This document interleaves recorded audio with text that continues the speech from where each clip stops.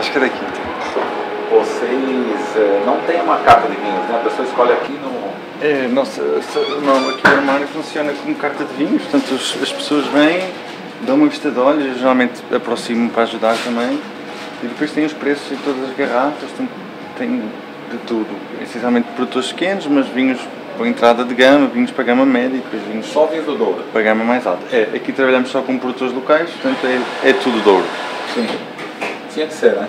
É, sim. É, o nosso intuito aqui é, é dar a conhecer a região e, e, portanto, produtores mais pequenos, coisas não tão famosas, não tão conhecidas, para, para dar um empurrãozinho também, Sim.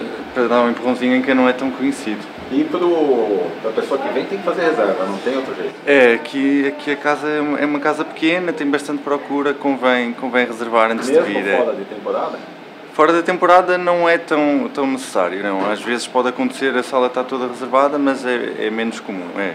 E qual é o, a gastronomia? É? Português é, é regional, é, o conceito é uma fusão do, de, de tapas, digamos assim, de pinchos com a, a cozinha tradicional portuguesa, portanto convidamos sempre à partilha dos pratos e as pessoas podem fazer uma refeição mais leve ou podem escolher um prato mais, mais, mais composto, mais tradicional e fazer um- uma refeição.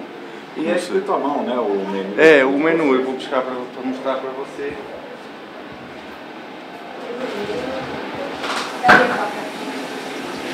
Isso é uma amostra, mas ele é escrito à mão, minha mãe que escreve.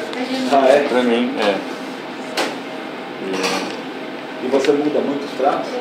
Os pr- a carta tem-se mantido. ah, foi, houve algumas alterações desde o início, uma casa já com 5 anos, mas ultimamente temos mantido, é uma carta que tem corrido muito bem, temos conseguido trabalhar bem. O, o- o cliente também gosta, então temos, temos mantido a carta ultimamente. E quanto tempo está aberto, João? Faz 5 anos e alguns meses, nós abrimos em maio de 2014. É um wine bar e restaurante? Eh, Não wine necessariamente wine bar, não, é, é, é uma tasca restaurante. É. Ah, Nós aqui não, não servimos só com o serviço de vinhos, é, é, mesmo, é mesmo para refeição. E qual é o prato que sai mais? Ah, isso, isso é difícil. eh, isso é difícil. O, o bacalhau brás sai muito aqui, as costelinhas em vinha de alhos, o, o polvo também é um dos favoritos. São assim alguns exemplos. É, isto são duas das nossas tapas. Aqui temos uma tapa de pimentos confitados com cavala e aqui é a tapa de cogumelos com tomate cherry e um queijo mussarela.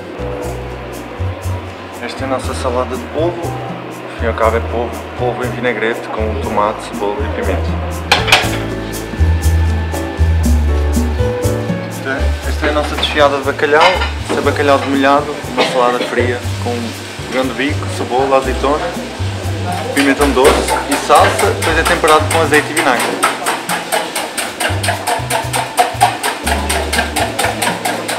São omeletes. É, isso é um, é um prato muito tradicional daqui também.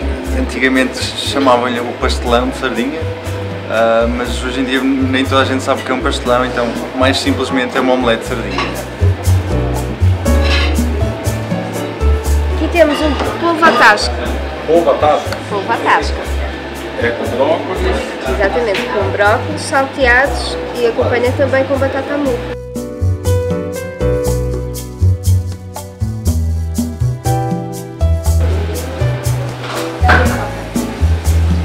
Isso é uma amostra, mas ele é escrito à mão, minha mãe que escreve. Ah, é? Para mim, é. E você muda pratos? Os pr- a carta tem-se mantido. ah, foi, houve, houve algumas alterações desde o início, uma casa já com 5 anos, mas ultimamente temos mantido, é uma carta que tem corrido muito bem, temos conseguido trabalhar bem.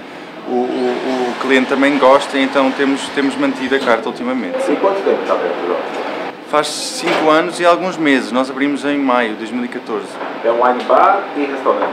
Eh, Não necessariamente wine bar, não, é, é, é uma tasca restaurante. É. Ah, Nós aqui não, não servimos só com o serviço de vinhos, é, é, mesmo, é mesmo para refeição. E qual é o prato que sai mais?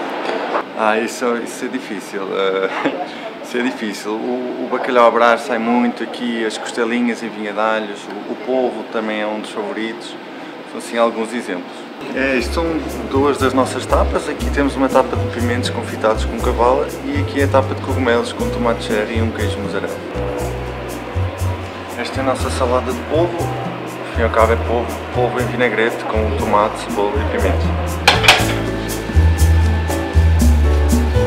Esta, é, é a nossa desfiada de bacalhau, este é bacalhau demolhado, uma salada fria com grão de bico, cebola, azeitona, pimentão doce e salsa, depois é temperado com azeite e vinagre.